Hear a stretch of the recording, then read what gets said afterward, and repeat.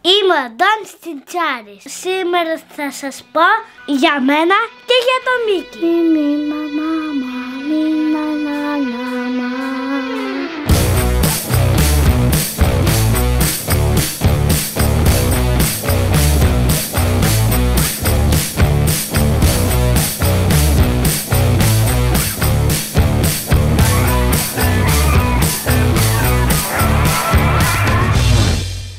Καλώς ορίσατε φίλοι μου σε ένα καινούριο βίντεο. Είμαι ο Χρήστος Τσιντσάρης, tattoo artist από το Νίκο Tattoo Crew Θεσσαλονίκης. Σήμερα θέλω να δώσεις ιδιαίτερη προσοχή, ειδικά αν είσαι πρωτάρης και δεν έχεις πάρει ακόμα την απόφαση να κάνεις ένα πρώτο τατουάζ.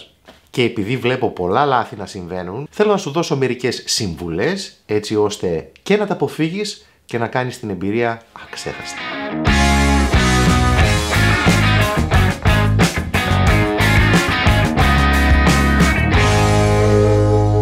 Κοίτα να δεις, το πρώτο τατουάζ είναι μια συναρπαστική στιγμή στη ζωή σου.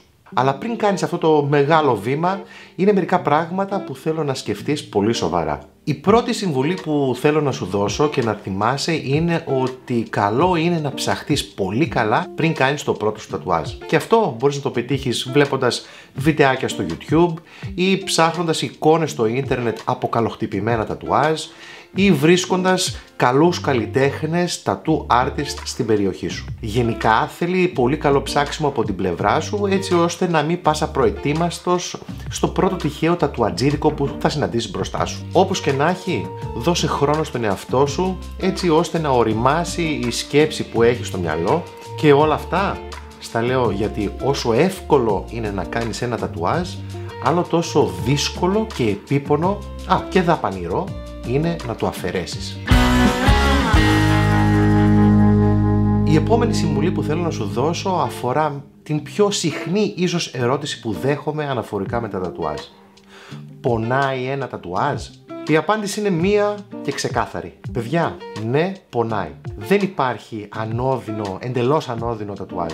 Αλλά από την άλλη υπάρχουν περιοχές του σώματος που πονάνε λιγότερο ή περισσότερο από άλλες. Οπότε αν είσαι άτομο το οποίο είσαι αρκετά ευαίσθητο ως προς τον πόνο, θα σου πρότεινα να ξεκινήσεις με ένα μικρό τατουάζ σε σημεία του σώματος που πονάει λιγότερο. Μάλιστα έχω κάνει σχετικό βιντεάκι ως προς τα επίπεδα του πόνου στο, σε διάφορα μέρη του σώματος οπότε αν σε ενδιαφέρει να μάθεις περισσότερα πράγματα για το συγκεκριμένο θέμα θα βρεις ένα link εδώ στην περιγραφή αυτού του βίντεο.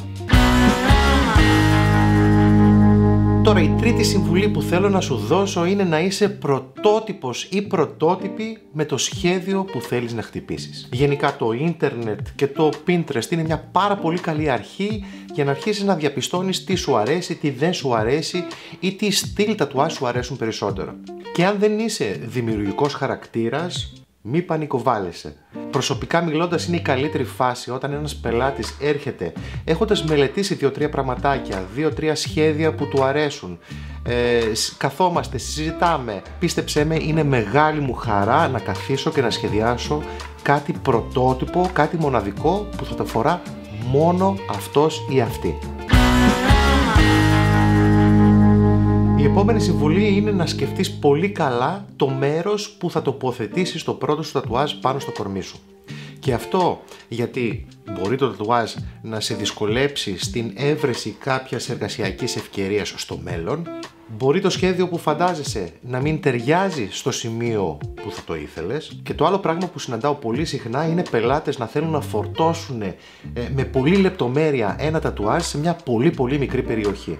Ένας όμως καλός και έμπειρος tattoo artist μπορεί να σε συμβουλέψει πολύ σωστά στην ορθή τοποθέτηση ενός σχεδίου τατουάζ πάνω στο σώμα σου. Να σου δώσει εναλλακτικές λύσεις, προτάσεις, καθώς και σημεία του σώματος τα οποία θα αναδειχθεί καλύτερα το τατουάζ σου.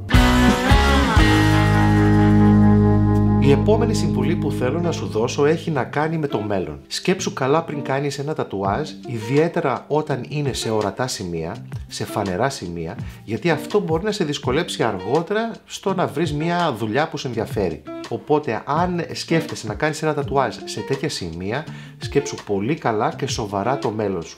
Όσο μικρότερος είσαι σε ηλικία, καμιά φορά δεν τα βάζεις αυτά μέσα στην εξίσωση ωστόσο μπορεί να παίξουν πολύ σημαντικό ρόλο αργότερα και δεν θέλω να είναι κάτι το οποίο θα το μετανιώσεις. Κάτι άλλο τώρα που πρέπει να λάβεις σοβαρά υπόψη σου είναι ότι ένα φθηνό τατού ποτέ δεν είναι καλό και ένα καλό τατού δεν είναι ποτέ φθηνό. Και παρόλο που η διαδικασία του τατουάζ είναι μια βελόνα η οποία εισχωρεί μέσα στο δέρμα με μια χρωστική, δεν πληρώνεις μόνο τα υλικά ενός τατουάζ. Πληρώνεις την εμπειρία του tattoo artist. Πληρώνεις για την οικαστική του υποδομή, για το κατά πόσο είναι έτοιμος και διαθέσιμος να σου σχεδιάσει και να σου εκτελέσει ένα ωραιότατο τατουάζ. Πληρώνεις γιατί θέλεις κάτι custom, κάτι μοναδικό, κάτι που θα το φοράς μόνο εσύ. Γιατί στο κάτω-κάτω, να στο πω λίγο διαφορετικά, αν ψάχνεις το φθηνότερο δυνατό κόστος σε ένα τατού, το μόνο που θα επιτύχεις είναι να πληρώνεις διπλά και τριπλά ή για να το σκεπάσεις ή για να το αφαιρέσεις. Άλλη μια συμβουλή που θέλω να σου δώσω είναι να λογαριάσεις πολύ σωστά την χρονική στιγμή που θα κάνεις το τατουάζ σου. Και αυτό γιατί τους καλοκαιρινούς μήνες, τον Αύγουστο παραδείγματος χάρη, που όλοι βγαίνουμε στις θάλασσες και θέλουμε να κάνουμε και μερικά πανάκια, ε, δεν είναι η κατάλληλη στιγμή για να κάνεις ένα τατουάζ. Η επόμενη και πολύ σημαντική συμβουλή που θέλω να σου δώσω για το πρώτο σου τατουάζ είναι μη κάνεις το όνομα του αγαπημένου ή της αγαπημένης σου ή κάποια σχέδια κοινά με κάποια κολλητή σου ή κολλητό σου. Γιατί πολύ απλά μπορεί στο μέλλον να πάψουν να είναι κολλητή σου ή να χωρίσεις Τώρα, αν είναι κάποιο όνομα ε, του μπαμπά, της μαμάς, ε, της οικογένειας, του αδερφού, αδερφής κτλ. κτλ. αλλάζει το θέμα. Επομένως θα σε συμβούλευα να προσέξεις πάρα πολύ να αποφύγεις ονόματα για ευνόητους λόγους. Μια τελευταία συμβουλή που θέλω να σου δώσω είναι να γνωρίζεις ότι αν επιλέξεις ε, κάποιον ε, καλό και γνωστό tattoo artist, να γνωρίζεις πως ίσως υπάρχει και λίστα αναμονής.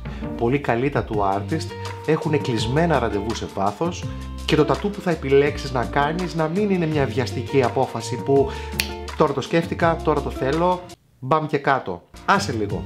Σκέψου το, να οριμάσεις η σκέψη να βρεις τους καλλιτέχνες που σε ενδιαφέρουν, το στυλ που σε ενδιαφέρει να κάνεις, το σημείο που θα τέριαζε περισσότερο σε σένα. Όλα αυτά παίζουν ρόλο για να αναδειχτεί ένα τατουάζ, να σου ταιριάζει και να είναι όμορφο πάνω σου. Θα σε συμβούλευα να επισκεφθείς τον tattoo artist και το μαγαζί και να συζητήσετε λίγο μαζί το project ή το τατουάζ που θέλεις να κάνεις. Έτσι θα σιγουρευτείς και ότι το αποτέλεσμα που θα πάρεις θα αντικατοπτρίζει αυτό που έχεις στο μυαλό σου.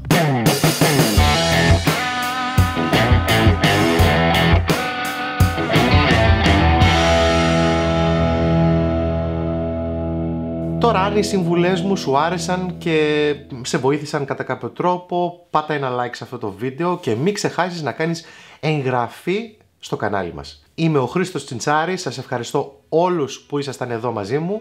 Τα λέμε την επόμενη φορά σε ένα ολοκένουργιο τατουατζίδικο βιντεάκι.